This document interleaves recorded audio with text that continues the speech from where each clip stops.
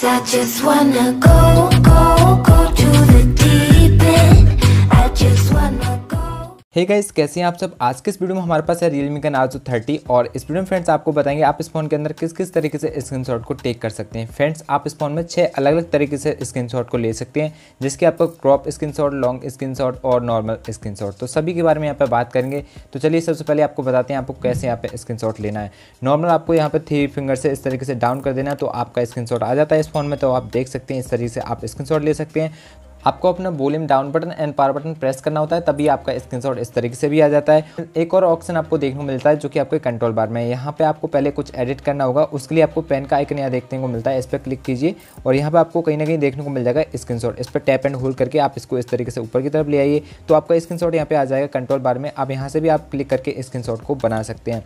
इसके बाद फ्रेंड्स आपको यहाँ पे एक स्लाइड बार देखने को मिलता है, इस पर क्लिक कीजिए इस तरीके से और यहाँ भी आपको स्क्रीन देखने को मिल जाएगा, इस पर क्लिक करके भी स्क्रीन ले सकते हैं। फ्रेंड्स आपको बताते हैं आप इस फ़ोन में लॉन्ग स्क्रीनशॉट को कैसे टेक कर सकते हैं? तो चलिए फ्रेंड्स आप फ़ोन की सेटिंग में आ जाइए। यहाँ पर जैसे कि आपको स्क्रीनशॉट एक बार में क्लिक करना है अपना पूरा स्क्रीनशॉट सेटिंग का। तो कैसे करेंगे? तो नॉर्मल स्क्रीनशॉट इस, इस तरीके से क्लिक कर लीजिए। यहाँ आपको एक आइकन दिखेगा इस पर आपको क्लिक करना होता है। तो आपका स्क्रीनशॉट ऑटोमेटिक स्क्रॉल होने लगता है। अगर आपको अपने हिसाब से इसको कस्टमाइज़ करना है तो आप अपने हिसाब से भी इसको स्क्रॉल कर सकते हैं। तो इस तरीके से भी आप इस फ़ोन में स्क्रीन को बना सकते हैं। अब फ्रेंड्स आपको थोड़ा सा स्क्रीन चाहिए मतलब क्रॉप स्क्रीन आप यहाँ पर बनाना चाहते हैं तो आप वो भी कर सकते हैं। उसके लिए क्या करना होगा? जैसे कि फ्रेंड्स आपको यहाँ पर इतनी जगह का स्क्रीनशॉट चाहिए तो उसके लिए आपको three finger tap and hold रखनी होंगी स्क्रीन पे और हल्के से नीचे की तरफ़ कर देना होगा। तो आपके सामने इस तरीके से इंटरफेस तो हो जाएगा। अब आप इसको सेलेक्ट कर सकते हैं कि आपको कितनी जगह का यहाँ पे स्क्रीन चाहिए। तो इस तरीके से आप सेलेक्ट करना तो आपका ये सेव हो जाएगा।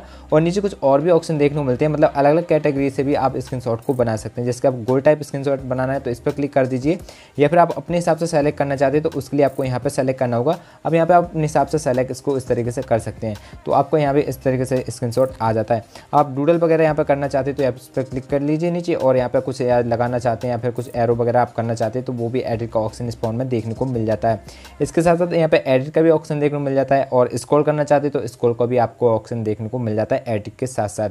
तो फ्रेंड्स आप इस फ़ोन में स्क्रीन के साथ साथ कुछ एडिट वगैरह भी इस फ़ोन में कर पाते हैं। आई होप दोस्तों आपको अच्छा लगा वो वीडियो में जान के कैसे आप इस फ़ोन में स्क्रीन को ले सकते हैं। आशा करते हैं फ्रेंड्स आपको वीडियो अच्छी लगी होगी। वीडियो अच्छा लगा हो तो वीडियो को लाइक शेयर चैनल को सब्सक्राइब करना ना भूलें। तो चलिए फ्रेंड्स मिलेंगे नई वीडियो के साथ। तब तक के लिए गुड बाय एंड टेक